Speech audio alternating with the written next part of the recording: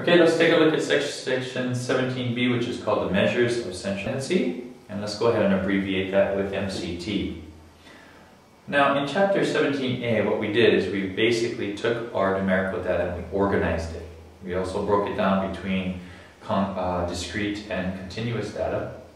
And once we go ahead and organize the data, the next thing that we want to do is we want to analyze it. Now before we go about analyzing the data, we need to go ahead and make very clear a distinction that is going to run through throughout the chapter. And the distinction is between a population and a sample. Now, of course, it's going to be very simple for you to see what the relationship is there based upon that Venn diagram. But let's make it a little bit more concrete.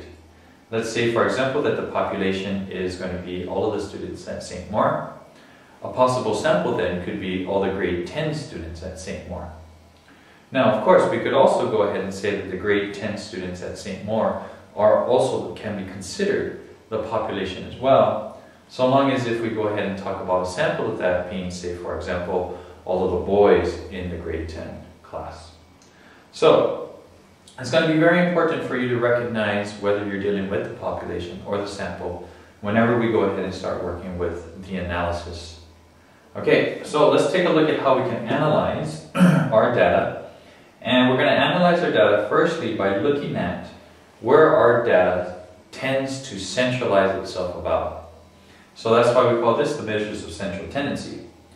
The three that we have is the mean, which would be considered the average, the median, which would be considered the middle value, so long as you sort your information from lowest to highest value, and the mode would be the most frequent value that you have.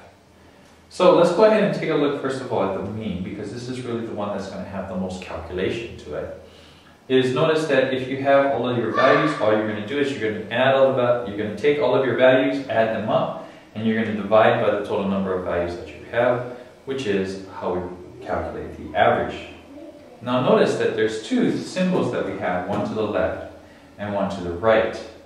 Now notice that these two symbols over here are representing the same thing, it's the mean, but notice that one of these is for the population and the other is for the sample. So if you ever talk about the population mean, you're talking about this right here, this Greek character mu. And if we go ahead and talk about the sample mean, then we go ahead and use the x bar notation. Okay? Now, of course, we'll come a little bit later in the chapter, we'll figure out exactly why we need to make that difference.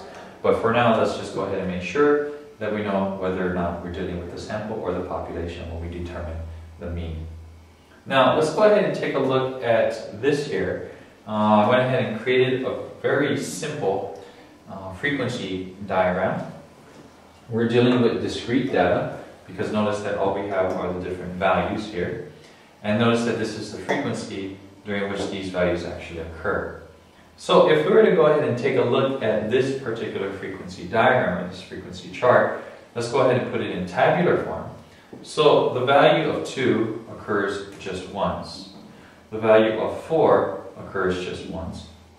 The value of 5 occurs just once. The value of 6 occurs twice, and the value of 7 occurs once. Now, if I wanted to go ahead and talk about these values, let's go ahead and determine whether and what the average, the mean, and the mode is, or are. Okay, now if we wanted to go ahead and calculate the mean, now do we consider this a population or do we consider this a sample? Let's assume for this case that these are the only values that you have, and if that's the case, then we're dealing with the population. So the population is going to be, that population mean is going to be equal to 2, right, plus and then there's one 4, plus, there's one 5, plus, there's two 6's, so 2 times 6, plus there's one 7. And then if I go ahead and divide this, of course, by the total number of values that I have, that's 1, 2, 3, 4, 5, 6, uh, then what I'm coming out then, with my, for my population mean, would be, what is that? That's 30 divided by 6, which is going to be equal to 5. Okay, so if I was to go ahead then and talk about where that is, this right over here would be the mean. This right there is the mean. Okay, let's go ahead and take a look at the middle value now, or the median. How do we calculate that? Basically what we need to do is we need to organize our information in the order in which they're written. So from the lowest value that we have, which of course is a 2, a 4, a 5, we have two sixes and a 7. Now if I go ahead and take a look at this right here, I've organized it in numerical order. I need to pick the middle value.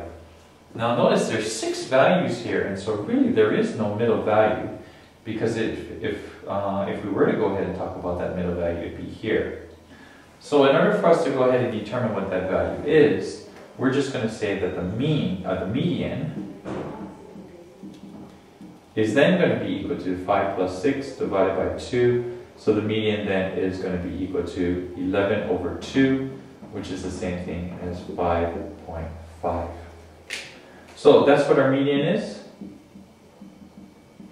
And if I was to go ahead and draw that, the median is at 5.5. Uh, let's use a different color here. Uh, let's use blue. There we go. This is 5.5. This is where my median is. Okay? Now, if I was to go ahead and take a look at the mode for this particular set of data, well, the most frequently occurring data is actually going to be 6 because it occurs twice. So the mode in this case is 6.